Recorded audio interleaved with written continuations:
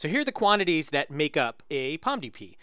We have a set of quantities that are actually just an MDP. There's a set of actions and states and transitions and rewards. But the thing is that that MDP that is inside the POMDP isn't directly observable to the agent. And instead, the agent has to make its decisions based on the observations that it makes. So this Z stands for uh, observations. Or observables. So it's a set like S and A.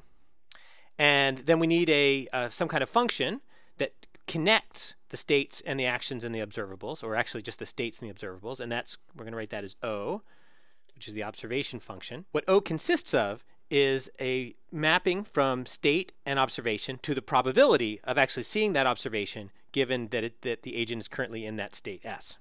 Okay, that makes sense. So there's a true MDP, um, and what makes the MDP really, I don't know, an MDP or is really the state. The the key thing has always been what state are we in right now, and what you're saying is that with a POMDP, you never actually know what state you're in.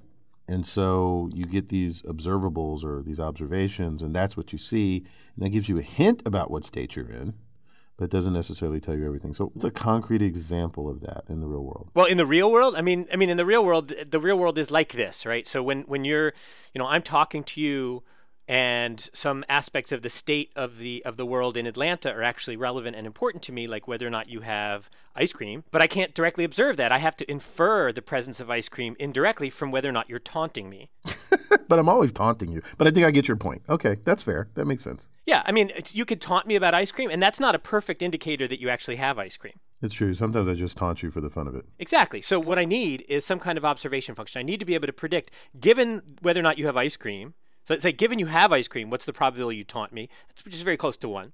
Mm-hmm. And given that you don't have ice cream, what's the probability that you taunt me? And that's uh, much lower, but not zero. But still close to one. well, you won't taunt me about ice cream when you don't have ice cream so much. That's true. Also, when uh, I have ice cream, you can hear me smacking. Smacking? Oh, making the making mouth sounds. Well, mm. again, that's a kind of observation. So smacking is a kind of observation that, again, is indicative of, but not a perfect indicator of, uh, whether or not you've got ice cream in your mouth.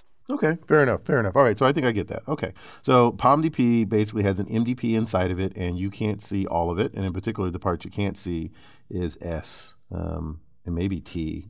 The T relates S and A, right? The T says how uh, given that you're in a state and you take some action, what state do you go to next? But of course, you don't really know what state you were in, and you may not know what state you ended up in because, again, you as the agent have to make decisions based on what you can see. Okay, fair enough. Great. Now would be a good time for a transition to the next slide if we knew what it was. Well, do we even know what slide we're in? uh,